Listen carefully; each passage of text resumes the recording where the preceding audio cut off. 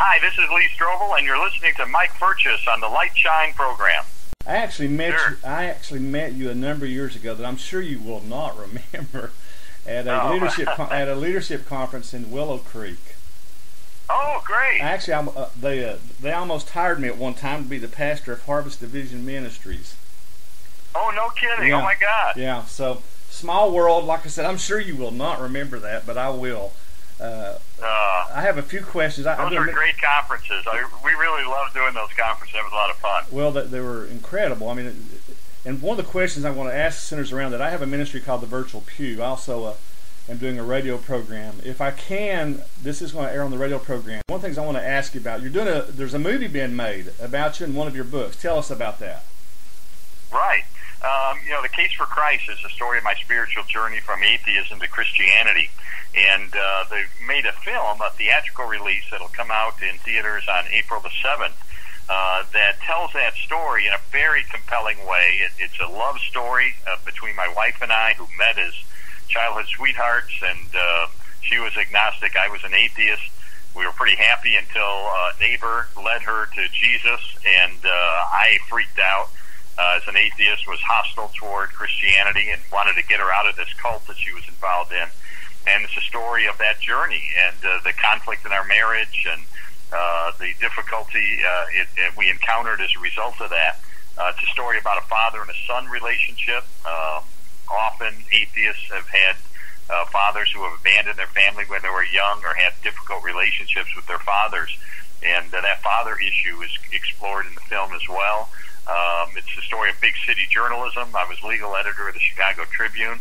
And it's a story of the evidence for the truth of Easter, the truth of the resurrection of Jesus, which established that he really is the unique Son of God. So it's both head and heart. It's, it's not a documentary. It's a uh, film with a tremendous cast. Uh, Faye Dunaway, the Academy Award winner and Golden Globe Award winner, uh, has a role in the film. Uh, Academy Award nominee Robert Forster. Uh, the best actress on Broadway, according to the Tony Awards, uh, L. Scott Caldwell is in the film.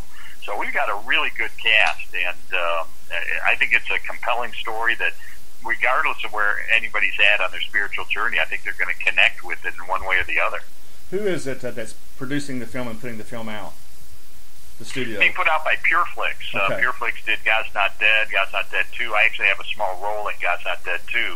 And um, they approached me about a year and a half ago with the idea of doing this film, which I'd never even thought about. And I said, I'll do it as long as it's written by Brian Bird. Uh, Brian's a tremendous screenwriter, a good friend of mine. He's, he wrote most of the Touched by an Angel TV shows. Uh, When Calls the Heart on Hallmark Channel is his show. Uh, he wrote Captive and a lot of other motion pictures. And so they agreed, and Brian produced an incredible script. Uh, and the acting is just through the roof. You know, sometimes Christian films are a little cheesy. Sometimes they can uh, have that cringe factor.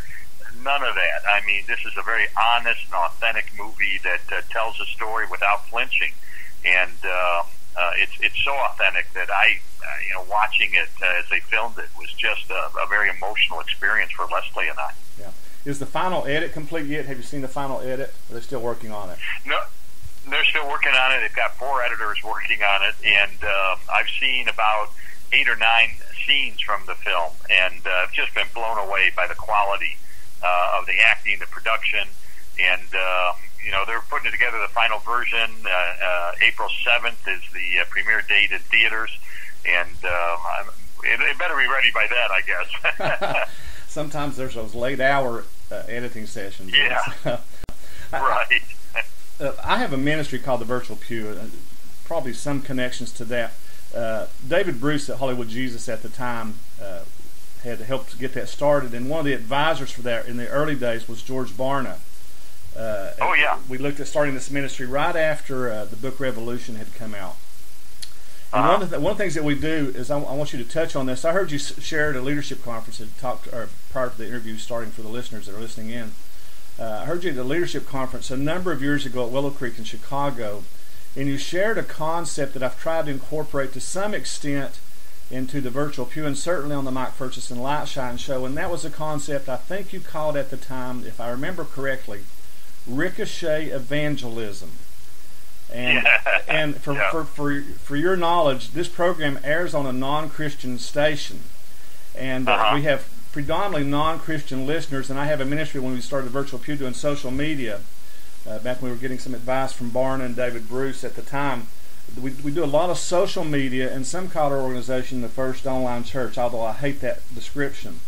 But we have a lot of contacts online, and so one of the things I did is I went online and I asked the question, "Hey, I'm getting to inter- I'm getting to interview Lee Strobel. If you could ask him anything, what would you ask him?"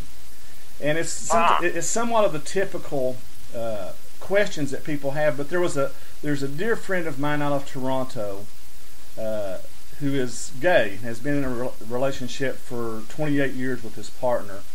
And then I had had another friend from Greenville, Tennessee, uh, and they asked kind of basically the same question. And the question is, is where is God in all of the disasters and all of the problems in the world? Can you respond to that? Yeah, in my book, The Case for Faith, I, I have a whole chapter on that because it's a it's a challenging question. It's the number one question that uh, non-believers generally ask: is how can a loving God allow uh, pain and suffering and tragedy in the world? Um, and it's one of those questions that people ask uh, if they're going through a tragedy, in which case they don't really want an answer. They want, I think, someone to be Jesus to them and present in their lives to walk them through whatever they're going through. Or some people ask it out of intellectual curiosity. And I think Christianity has a good answer for it, that uh, God uh, created the world good, um, that uh, He um, uh, created humankind with free will so that uh, we could uh, choose to love Him or not to love Him and choose to love each other or not to love each other because love must involve a choice. And uh, we've taken that free will and unfortunately we've, uh, we've, we've instead of holding food in our hand to other people, we often hold a gun in our hand and, and uh, we hurt each other and um, tragedies befall us as a result. Um, and we have a world that is therefore fallen uh, from what God had created it to be. Uh, now He promises to restore it, but uh, in the meantime, I think He He uses the difficult circumstances of our life uh, to draw us to Him, to draw us to each other.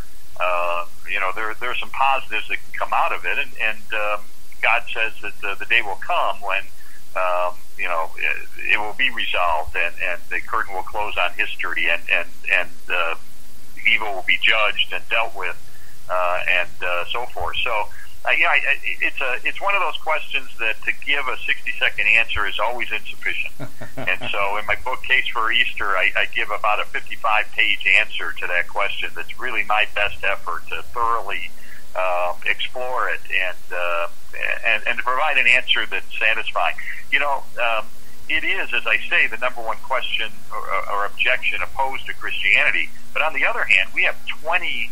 Uh, uh, uh, species of evidence on the other side that point powerfully and persuasively toward the truth of Christianity. And so you put them on a scale and you go, you know, as difficult as that question is and as personal as it is, uh, A, we do have uh, an answer, I think, from the Christian perspective that makes sense. But uh, B, um, it doesn't outweigh the persuasive affirmative evidence that Jesus is who he claimed to be. I was talking to a friend yesterday that uh, he actually at one time lived with Keith Green and and participated with him as a musician. Wow. And it seems that a lot of Christians are going through struggles to where it, it almost seems like the church is having a very difficult time, to some extent, with some within the church. I don't want to make a generalization, at making sure that we point to Christ as the one who is infallible, as opposed to ourselves who are fallible.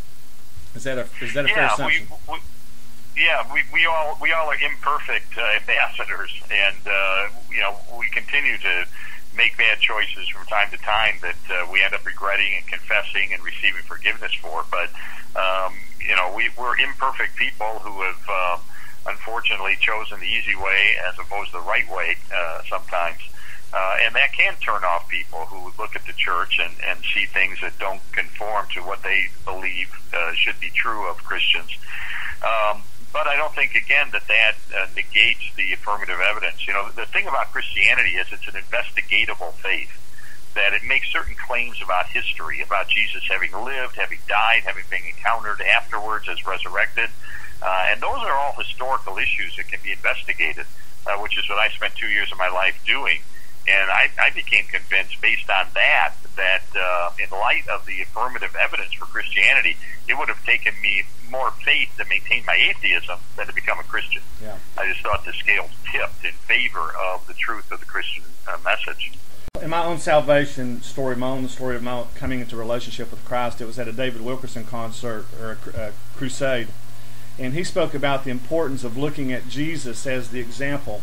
And over the years, individuals like yourself, Josh McDowell, and others have moved me and inspired me to study apologetics from the perspective of being able to give a credible answer to those who ask questions.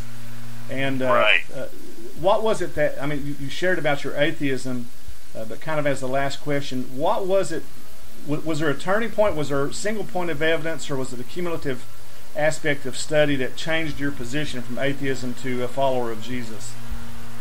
It really was a cumulative case. Uh, it was two years of delving into, you know, the science side, uh, the evidence of cosmology, physics, biochemistry, genetics, human consciousness, uh, origin of life, etc um, and especially the resurrection of Jesus. Um, how do we know that he really lived, he really died, he really was encountered afterwards?